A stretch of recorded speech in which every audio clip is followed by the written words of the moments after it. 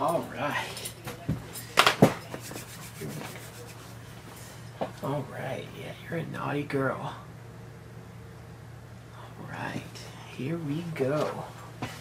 Thank you, Mrs. Clinton. Oh, shit.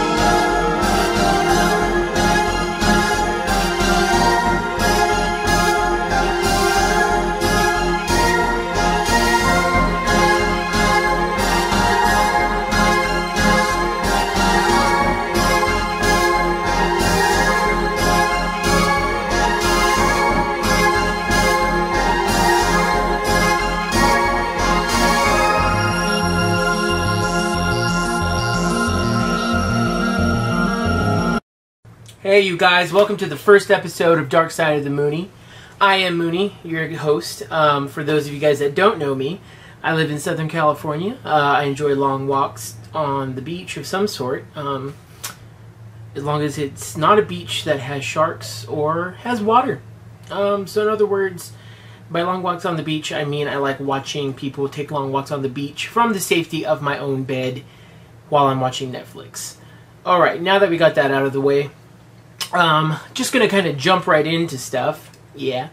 Um, and we're going to talk about some of the new TV series that came up. Uh, mainly, the what, the first thing I need to, if you haven't watched Scream Queens, do yourself a favor, get off right now. I'll give you my Hulu account. No, I won't. But start your free trial in Hulu and do and just go and watch Scream Queens. Like I cannot tell you enough that if you enjoy TV or if you enjoy the whole like horror satire comedy thing, this Scream Kings, Scream Queens, excuse me, damn patriarchy, um, Scream Queens uh, is definitely what the Scream series should have been.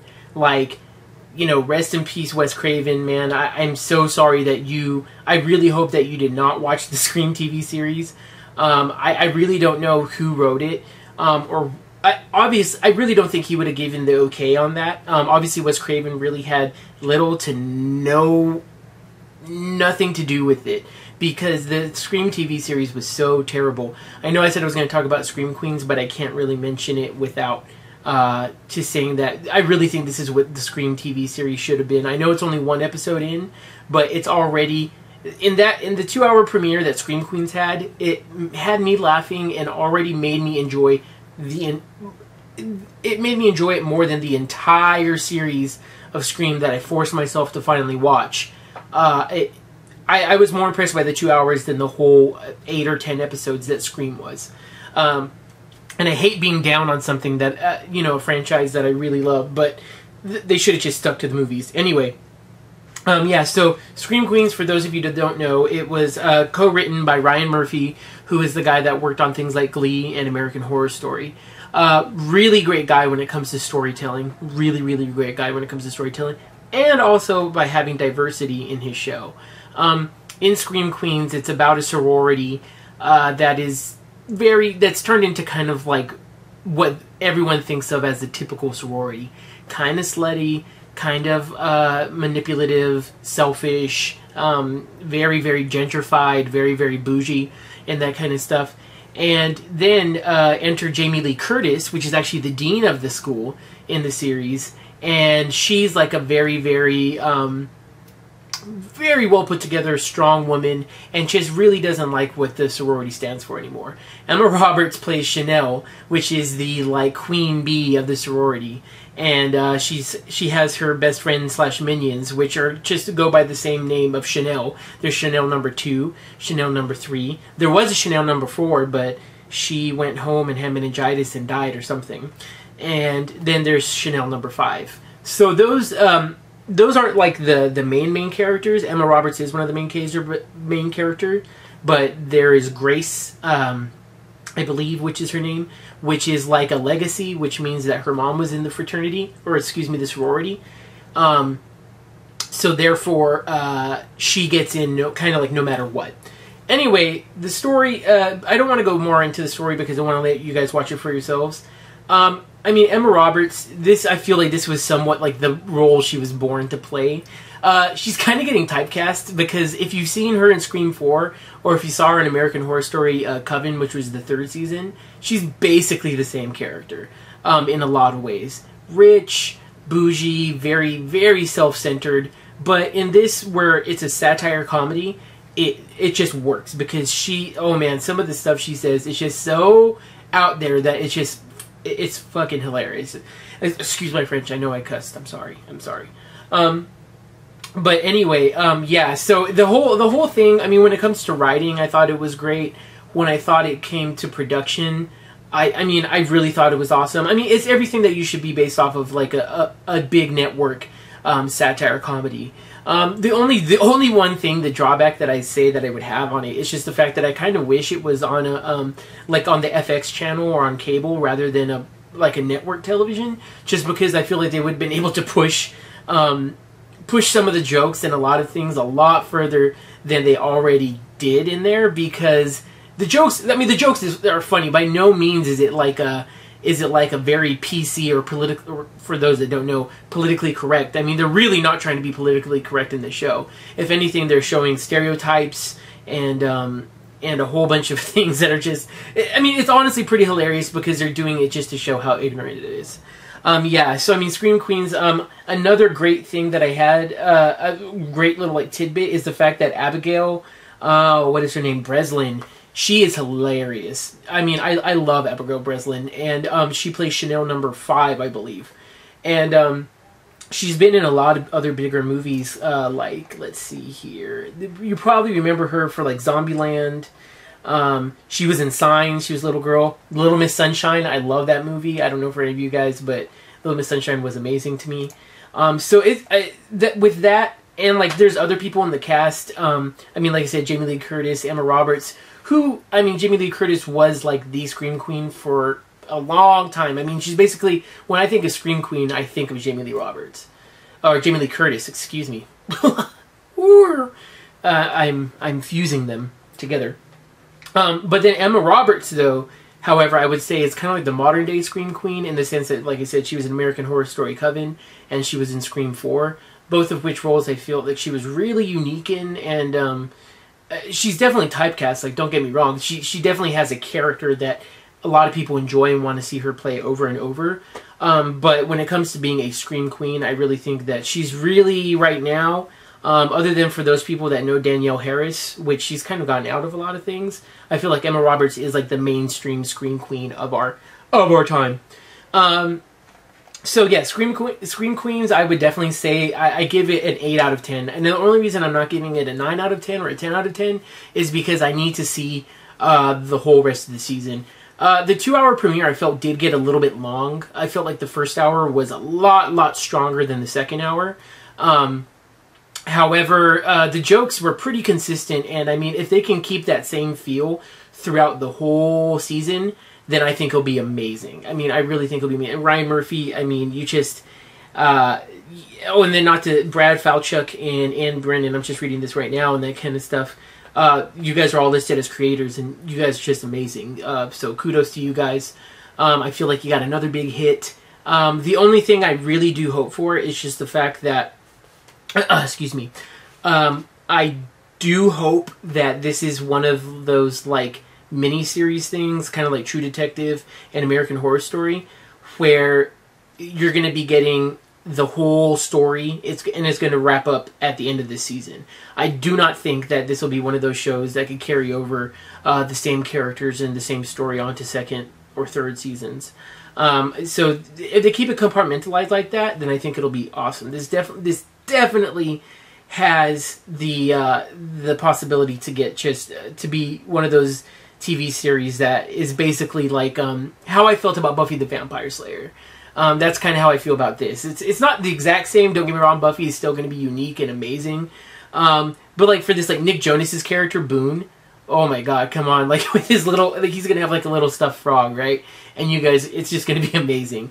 Um, I, I, thought Nick Jonas was amazing. Uh, like I say, Ab- Abigail Breslin, um, Diego Boneta, Bonita. I'm not sorry if you're ever going to see this, um, but sorry if I mispronounced it. He's been in kind of a couple of things, so it's a really, it's a really, really strong show. If you haven't watched it, I definitely say um, jump into it right now so you can catch the pilot because I really think that uh, this is one of those shows that it's going to be awesome to get in on before it becomes a really explosive, popular show. Um, the next show that I'm going to go uh, cover quickly is Heroes Reborn.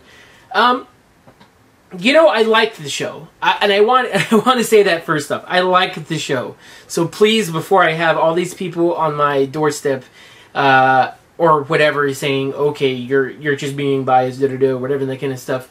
Um, I I want to say I liked it. I thought it was solid. I I think it has a good beginning. That being said, my my problem with Heroes was always the fact that I felt like they had too many things going on at once. And that was even something that I had an issue with from the other series. I was never a huge big fan of the original Heroes. Um, it's made by Tim Kring. Um, let's see here. Some of the stars are like Jack Coleman, Ryan Guzman. I'm um, trying to think if there's really no other than Jack Coleman.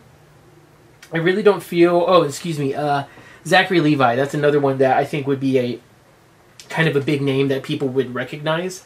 Um, there's really. It's not like a superstar studded cast, but I feel like there's a lot of stars there that are going to bring a lot to the table. That being said, the premiere I felt was just a little bit lackluster, man. Like I don't know what it was. I, I mean, there were some really cool things there, but I felt like there were so many characters that you were trying to get acquainted with that I never really ended up caring about any of them. Like the um, the uh, the the one girl who was in the video game, I totally forget what her name is now. Um, Miko Otomo, um, which is the is played by Kiki Sukazani. Suk, Sukazani. Um, I believe, like I said, I'm terrible with pronouncing names. Um, I thought she was really awesome. I'm actually really interested about that storyline. Um, and I'm really, you know, and I think it's really cool and kind of almost X Men ish um, about like the way that they had. Uh, well, I'll just give it like a base off. The story takes place originally about a year ago in June, where there was a summit where it was supposed to be a peace meeting between humans and these people called Evos. Evos are the people that have human or that are human but have supernatural powers. The heroes or villains, whichever ones. I mean, they have powers though. Um, in that summit, there was a bombing that pretty much killed a lot of the people there, and then it was it. Then someone that was pro Evo and actually was an Evo supremacist is the one that took credit for that bombing. So therefore, that turned everybody basically in their anti-Evo. It made them basically hunted, and it's a really, I think it's kind of like a real narration on like the whole race thing that's going on right now um, in America. So I think, I mean, that's cool that they added that into there, but I just kind of feel like, I, am sorry, but I just kind of feel like this was very X-Men-ish. Like, I, I feel like it was almost like exactly like the X-Men story, but they're just applying it to this, which I'm, which I'm totally cool with because yeah, when people are different, it's very easy to to use the trope of oh these people are different and we're just using humanity's own prejudice and this is the way it really would be. However, for this show, I feel like it's oh, okay. Like yeah, this has been done. It's kind of been done before, and it's you know you're gonna do it again. But how are you gonna make it different? In this, they didn't give you enough to really give you the meat uh, and and the feel of what the show was going to be. So I just I'm giving it a seven out of ten simply because I didn't. I, I don't really know where the show is going, and I don't feel like I can give it a really solid grade until I see um, more about the characters and, and maybe more investment, see where their story goes, see if they're going to flesh out some of the characters more. Um, so yeah. Um, so just for those two quick, I feel like the Heroes Reborn and Scream Queens uh, as two shows that are coming in new. I wanted to definitely cover those first because those were just very, very. Um, those were the two titles that I was most excited for coming out. Um, so I, I just I, I really hope that with Heroes, I just hope that they don't do what I feel like they kind of did last time and that was overcrowd themselves with characters because that I think that's one of the main things that they could do and that's what they really need to stay away from. They need to have some characters they need to flesh out and make their characters three-dimensional and instead of just, you know, uh, of just like the simple motivations and that kind of stuff which I which I really feel like they did last time. Um, the writing, though, uh, uh, the dialogue and everything, I thought was a little bit eh, eh, stilted at times. Um, the production value on this is just amazing. Like, I mean, the fact that some of the CGI that they had to use uh, and locations was just really, really awesome. So I think in terms of production, it's really awesome. This is what I expect from a network television show, though. Um, the production value, I mean, millions of dollars get invested to these things, so they really have to go um, into there. Uh, Alrighty, well, that being said, I'm going to switch it over a little bit to something that is coming up, and that is the new American Horror Story Hotel. I don't know if any of you guys have seen uh, the previews for it, but yeah, it's going to be coming up, and actually, uh, I'll show you this um, in a second right now if I can. So here's the preview. Alrighty, yeah, okay. So now you guys saw the preview. Um, I don't know what you guys thought about it. That that was a use of Rammstein, uh, which is a pretty cool metal band. Um, I'm really stoked for Lady Gaga being like in this. Um, one part, one thing I had a qualms about though is that I really did not like Freak Show, uh, which was the previous season. Um, the cast of characters: Jessica Lange, awesome, Sarah Paulson, all those people. I mean, really, I'm not saying anything. Denis O'Hare, man, like they had really, really good people. Oh, one thing, one thing that I love. Hang on, I'm trying to get his actual name. Uh, Wes Bentley, I thought was an awesome, amazing, amazing addition. And then Finn Wittrock, loved him, loved him in Freak Show. He was kind of Dandy was one of the only people that really uh, made that show for me and that kind of stuff. It's me. I need it. I don't care. You're so stupid. Sorry, didn't mean to spit at you, but I, that was my best Dandy impression. Um, some of the some of the expressions that he did in that show were just amazing. So and he really went like that. Uh, he really went like that. So I think that's awesome. Of course, Lady Gaga is like the big thing right now. I mean, this is uh, I really this is the first time that she's going to be acting um, with this amount of like dialogue and everything. She was in the second Machete, Machete. Um, However, uh, she I feel like she didn't really get a chance to to shine as the chameleon. In this, when she's going to be the countess of the whole hotel, I feel like she's going to there's there's going to be much more room for her to actually show an eccentric character. Um, plus, I mean, all I have to say is just like um, like Denis O'Hare is just he's in drag, and that's just awesome. I mean, I think I have a picture of it, which I'll show right now. Um, can we add this in post production? Post. Post. Okay, cool. Sorry. Sorry. I just love saying, can we put this in post production? Because I think it's hilarious. You can do everything with post production. Um, uh, yeah, but Denis O'Hare, uh, just uh, him being in drag, I think is going to be amazing. He's an amazing actor. He's really been, I feel like, the unsung hero of all the American Horror Story franchise. Uh, I know a lot of people put a lot of lot of interest into Jessica Lange, but I mean, if you look at all his characters, they've just always been like very. He's been in a lot of pivotal scenes. He's just amazing, uh, especially in Coven. I mean, American Horror Story Coven was like my favorite. It, honestly, that might be one of my favorite TV series of all time because I just felt like that was amazing. The, with, everything was just awesome in that, and um, oh man, yeah, that was just really cool. Lily uh, Lily Rabe too. I mean, I love her. I think she's beautiful. Uh, all all the characters that she's played in American Horror Story ever since the second season has just been, or excuse me, the first season. She was in the first season too, but not that much. Um, and Michelle Pfeiffer is coming, so I'm super stoked for that. Uh, of course, with the return of Kathy Bates um, to Angela Bassett. I mean, both of those people. Uh, Jesus, I mean, Kathy Bates and Angela Bassett ever since coming into Coven were just amazing. I mean, Kathy Bates, holy crap! That that I mean, you give. I guarantee if Kathy Bates did like a sock puppet show, she would win an Oscar because that's how fucking good she is. Kathy Bates, you are awesome. You are awesome. Wouldn't want to get in your bad side. Would not want to get in your bad side though. Anyway, um, so that's just a little thing. I honestly think American Horror Story Hotel is going to be awesome. My prediction is that it's going to be the series is going to probably be uh, about a 9 out of 10 8 out of 10 um, they do they the, the one thing about freak show is that i feel like it definitely got over sexualized on some parts um, kind of with the whole like um, with the the double headed twins uh, getting like you know like doing their masturbation stuff and that kind of whole thing. There was just a lot of some uncomfortable things in freak show that i felt were just not needed. Not that i care but just the way that they displayed like sexuality of anyone, not just female or male, but the way they displayed sexuality was just like, you know, like, uh, uh, oh, oh, okay, okay, that's that, that happened, um, that happened. I never thought I would see that, but that happened. Um, so that's basically how I felt about all of that. Um, so that does it for TV. Um, I'm going to go on quickly to um, some of the uh, movies that I saw recently, which is going to be Hotel Transylvania 2 and The Visit. I'm going to cover The Visit first just because it's something I wanted to touch on. It's not something I necessarily wanted to uh, talk about a lot. Uh, M. Night Shyamalan, man. M. Night Shyamalan. M. Night Shyamalan. I mean, he's M. Night Shyamalan.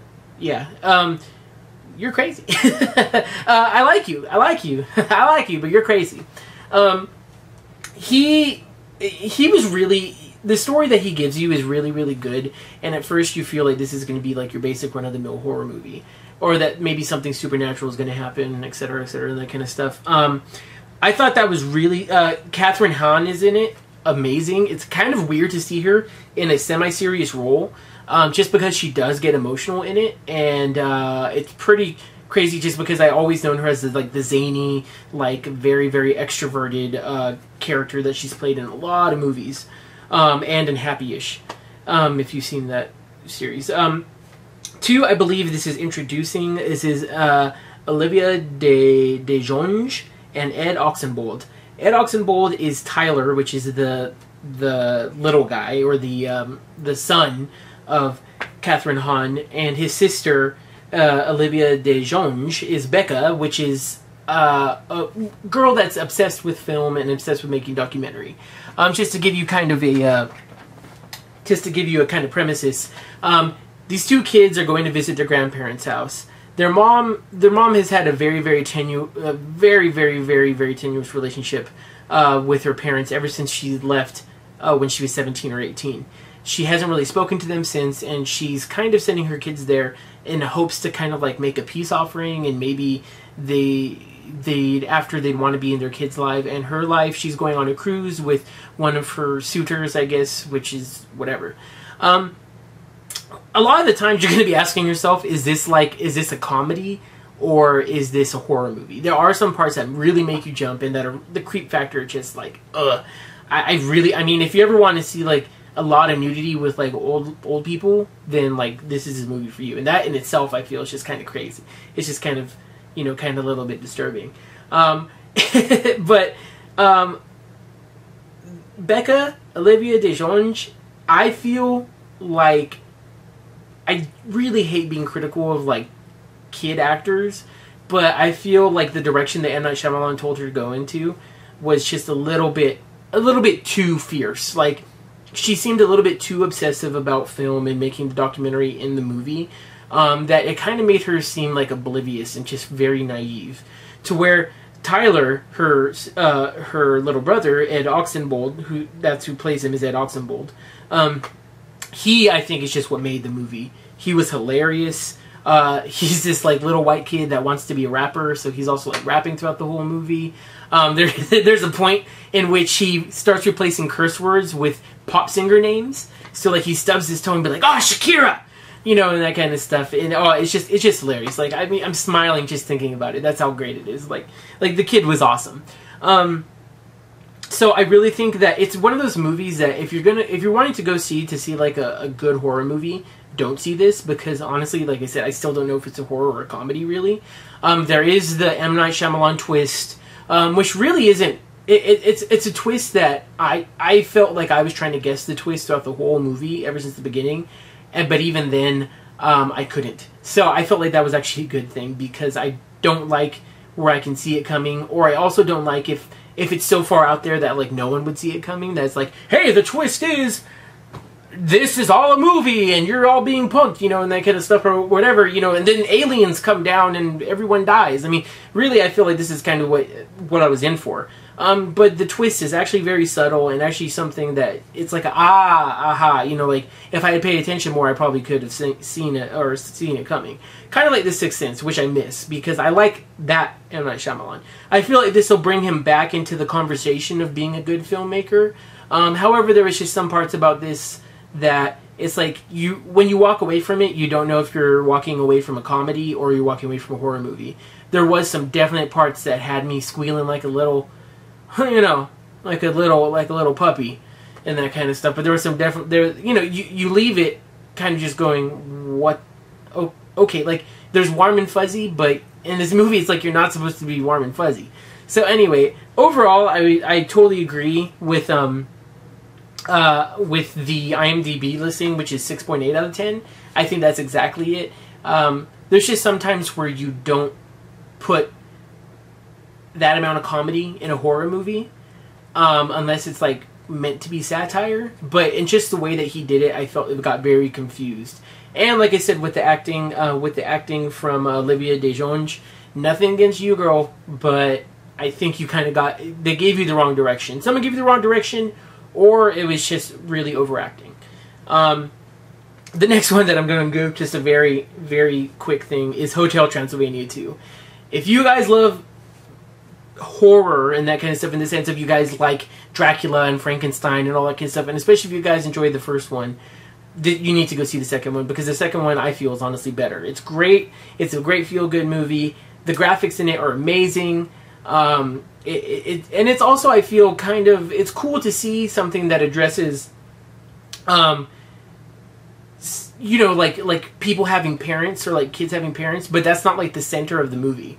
You know, like in other movies, like the family movie would be ended with her like Mavis saying, "Oh, I'm pregnant, Dad," and "Oh, you know, great," and then the whole thing would be about her pregnancy, and then it would get all father of the bride on you and that kind of stuff, blah blah blah, and that kind of whole thing. This, it's like the kid is like in there from the beginning of the movie, and the, really the whole thing is about acceptance, and it becomes really awesome. Like like I'm sorry, I love I love Pixar and Disney and that kind of stuff, but this kind of put Inside Out to shame for me, for me, and I liked Inside Out, but I think Pixar has just been getting a lot of uh, they've been doing really iffy stuff, and like they're I feel like they're kind of just going for the money instead of the feelings and the emotions or putting the work into it. That's just my opinion. I love Disney. I love Pixar. Please don't sue me, Disney, just because I said Disney in my video. Um, Alrighty, so the uh, the next upcoming thing, the what I'm excited for, and I feel like you guys should be excited for, is Green Inferno. Um, I don't know if you guys have seen Cannibal Holocaust, but dude, if you have, this is basically going to be the next Cannibal Holocaust. I haven't seen it yet. When I do see it, I'll let you guys know. I think it's going to be amazing, awesome. Um, to close uh, my first little video here, I think I'm going to uh, talk about video games and the paywalls behind video games. Um, I recently got Destiny: The uh, The Taken King.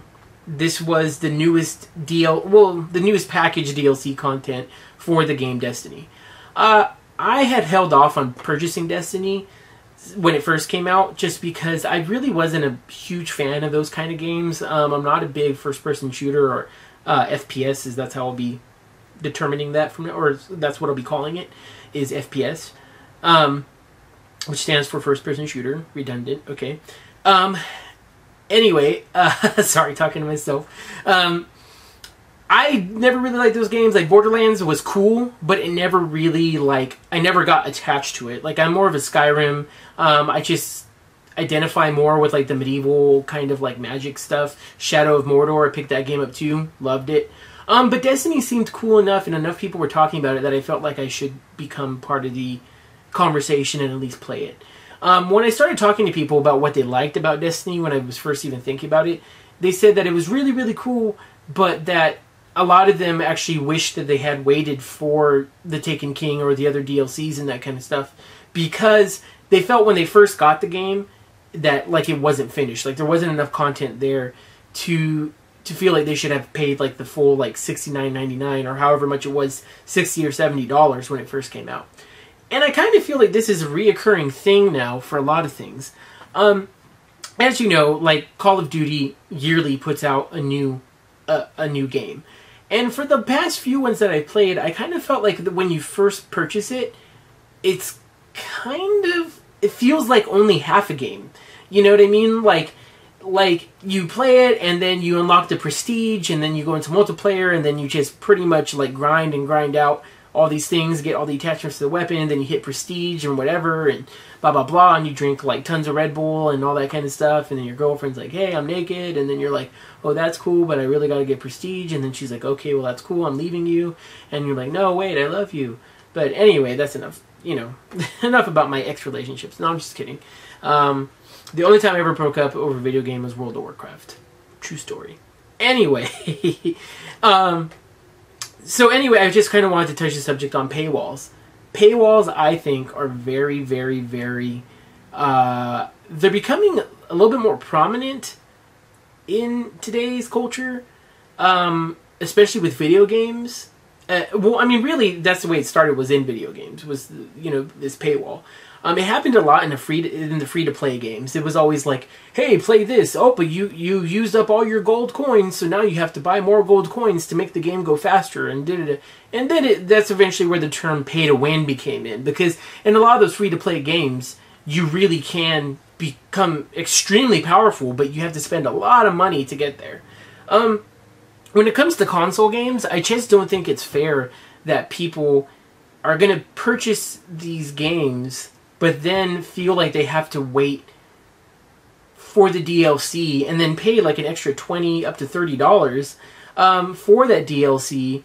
Uh, when origi- when when you're putting out a game, it should be fun enough. The base game should be fun enough to feel like you're getting a good game, and that the base content is enough for you to be immersed in it and have all that kind of stuff. Kind of, uh, I think I asked a question in one of my groups where I was asking about how do people feel about these paywalls and that kind of stuff. And they mentioned how they thought that Nintendo and Wii U really did it very good. That the DLC content that they put out really has nothing to do with the actual content, but it's just added little things. Like for instance, um, Hyrule Warriors. I actually purchased that game because I am a huge, huge Zelda fan. Um, um, in Hyrule Warriors, they did have a DLC content, but the content was just like side like bonus quests and dungeons and then like a new skin for Link and that kind of stuff, the shadow skin. Um, so other, I mean, when it came to adding stuff, it really was just like side quests and and you know all those kind of things. It was really nothing that changed the actual landscape of the game. Um, because the actual landscape of the game I felt was really really awesome and there was a there was tons of weapons, characters, unlockable characters and all that kind of stuff that you could level up and the playthrough value was awesome. And I feel like Nintendo really does do that kind of good stuff. Like even with um, Super Smash Brothers and the whole um, like the amiibos and that kind of stuff. You can still play the game without those and the game experience is still going to be awesome and just really fun. Those are just things that are you that you used to and either enhance or little side things um, to play the game. That's awesome. But however, in Destiny, and I'm just using this as a uh, as a very very uh, big example, I feel because I, I think that a lot of things are kind of ended up like this. Destiny, everyone uh, like literally seven out of ten people that I had talked to said that they felt Destiny when it first came out was not a finished game. That I think is just terrible because now you have these same people purchasing the Taken King stuff which was still sixty or seventy dollars, and that kind of thing, because of the fact that they felt that the actual base content wasn't good enough. That I think is a problem. Lazy, and I'm not saying. I mean, to make a video game, not only do I think it's art, I think it's also very hard to do. But at the same point in time, we people need to realize that that doesn't mean that you should be a lazy ass and put out something that's not done you know like the fact like like what i personally respect about the fallout games is the fact that they don't put a fallout game out every freaking year. I mean i i just don't i'm sorry but i just don't think that even even for these call of duty things and that kind of stuff they don't require i mean you have a call of duty that comes out every year not to mention the fact that it, all, it also comes out with at least three minimum map packs and that kind of stuff. So you're having to buy the $60 game but then you're having to buy these other map packs that and if you don't have those map packs, sometimes you can't get into certain games, or sometimes it's hard because you have those other people that do have them, but then you can't get into the same like lobbies or something that they do. It, because it does become, it actually does slow it down a little bit because I have played my share of Call of Duty and that kind of stuff. Um, and I feel like it do- definitely does become unfair, and especially the fact that some of these DLCs have like weapons and that kind of stuff that they can use against you, and those weapons actually are. It, when it comes to a multiplayer environment, it, it becomes very um, it almost does become pay to play, and especially the fact that Call of Duty is trying to get into esports and that kind of stuff. I think that they that they definitely need to make it a way more level playing field rather than just giving these people an option of like purchasing a DLC content and then give and one thing that I hate is that if there's a DLC content that gives you everything that the other people in the base content had to had to play and earn, but then boom, they just give it to you. Like they give you that gun that you were looking for that's the same power as this souped up gun that you played and sunk like 20 hours in just to get and like soup up. But then oh, this thing in the DLC content comes up and it's just as strong and you just get it because you buy it or pre-order it from GameStop or whatever the fuck. Um, I think that's not cool. I mean, really, it's like people. The rewards for playing the game should still be that. Like if if you had to grind and grind and grind and get like this one piece of gear and that kind of stuff, uh, it it should be that should still have like status. Like oh hey look at me like I have this. Oh dang that guy you know how hard that is to get. That's awesome. Instead of like oh, I have this. Oh, that's cool. Well, every every other kid that like pre-ordered on GameStop has this shit, and it's the same thing. You know, I mean, it kind of makes. I mean, what's the point of playing? You know, and I, and I hate to say that like you want to get things to show off, but yeah, I mean, everyone wants to show off their hard work. So I just think that I, I just really hope that we're not seeing video games go into this go into this kind of thing to where they're putting out games that they specifically know they just want to attract people to get the DLC content. So that way they end up instead of getting like seventy dollars out of them, I feel like they're wanting to get at least 120 per game per person of the of the people that buy them. Like, and that's kind of sad because a lot of these people and these kids and that kind of stuff, video games are important to them. And if you're and if you're purposely holding back content because you want to release it later and then charge people for it, then I feel like that's a pretty slimy shit to do. You know what I mean? And like Konami, like, and this is just like ending thing. Konami, you need to get your head out your ass, and you need to start making Castlevania games again because this is you're fucking crazy. Okay, I know that was kind of a side note, but I feel like uh, I feel like just because they're not, they didn't go in the same way that the other companies went, then they feel like they're no longer relevant, which is that that's just not the case. Um, but anyway, enough of me ranting. I hope you guys had a good time uh, with your Mr. Moonie and that kind of stuff. I know I'm pretty. I could be a pretty charming guy if you could see my my tortoises in the background. Yes, yes, they are sleeping. Yes, sleeping. They uh, they like doing that. They like sleeping. Okay. Alrighty. Well, me and my uh, tortoise or tortoises, tortoise, uh, are going to be bidding you guys adieu and hope that you guys enjoyed the very first episode of Dark Side of the Moonie. Alrighty, talk to you guys later.